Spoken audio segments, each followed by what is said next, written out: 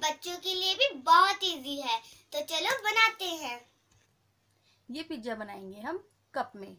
और इसके लिए सबसे पहले हम इसमें डालेंगे थ्री स्पून आटा। मैदा से बनाते हैं, लेकिन बच्चों के लिए आटा ज़्यादा सही है। अब इसमें डालेंगे मीठा सोडा, सिर्फ़ एक चुटकी, वन पिंच मीठा सोडा। और डालेंगे one fourth spoon baking soda, baking powder. One spoon add करना है इसमें ऑयल।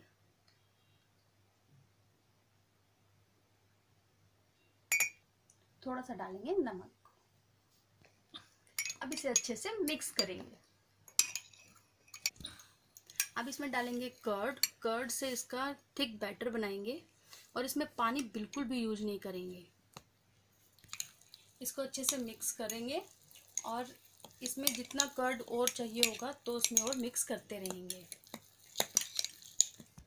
अब इस पर डालेंगे पिज़्ज़ा सॉस पिज़्ज़ा सॉस नहीं है तो हम डालेंगे टमाटो केचप अब इसमें हम सारी वेजेस डालेंगे। ये green capsicum red capsicum paneer corn और मोजरेला चीज़।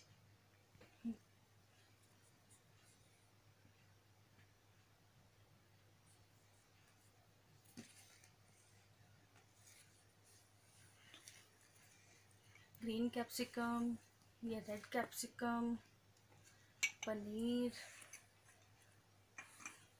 और थोड़ी सी कॉर्न।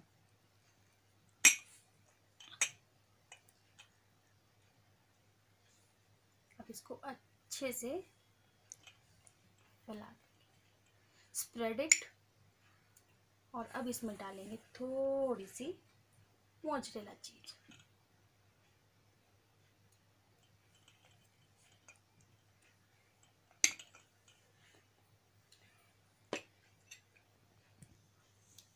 थोड़ा थोड़ा डालेंगे साल्ट और ब्लैक पेपर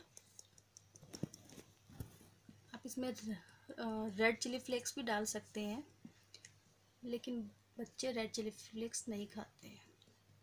इसलिए हम इसमें डाल रहे हैं ब्लैक पेपर पाउडर और सबसे ऊपर डालेंगे पिज़्ज़ा सीजनिंग पिज़्ज़ा हर्ब्स जो होती है ना, वही।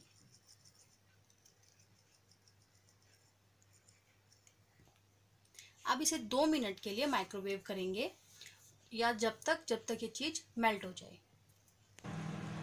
हमारा पिज़्ज़ा रेडी हो रहा है। देखो चीज़ मेल्ट हो रही है और ऊपर तक आ गई है।